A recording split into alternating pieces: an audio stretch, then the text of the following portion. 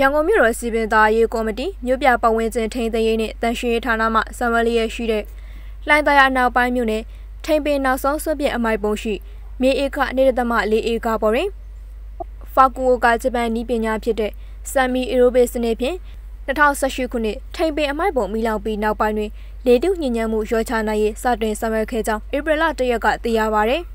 ။အဲ့ဒီလိုဆောင်ရွက်ရာတွင်လေသွင်းလေထုတ်အစမီအီရိုဘစ်စနစ်ကိုအသုံးပြုကာ လေသွင်းလေထုတ်ပေါက်များရေဆိုးစင်ပိုက်များနဲ့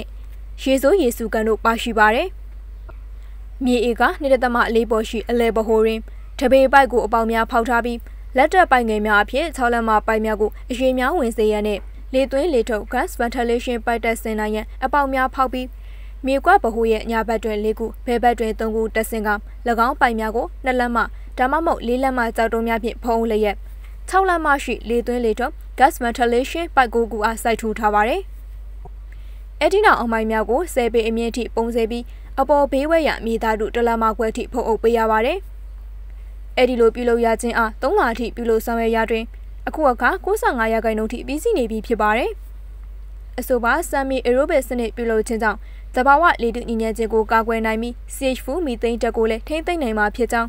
မြပပတ်ဝန်းကျင်ထိမ့်သိမ်းရေးနဲ့တန်ရှင်းဌာနတာဝန်ရှိသူတို့ကပြောကြားပါရယ်။အရှင်မီးမလောင်ခွင်ဆောင်ရွက်နေတဲ့အမိုက်ပုံစနစ်မှာ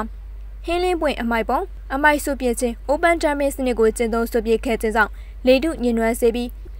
CH4 မီသိန်းဓာတ်ငွေ့ထွက်များပြားခြင်းကြောင့်မီးလောင်မှုဖြစ်ပွားခဲ့ရကြောင်းသိရပါတယ်။ဒီသတင်းကိုတော့မိုးဝင်နဲ့ရွှေဝင်းတို့ကပေးပို့ထားဖြစ်ပါရဲ့ရှင်။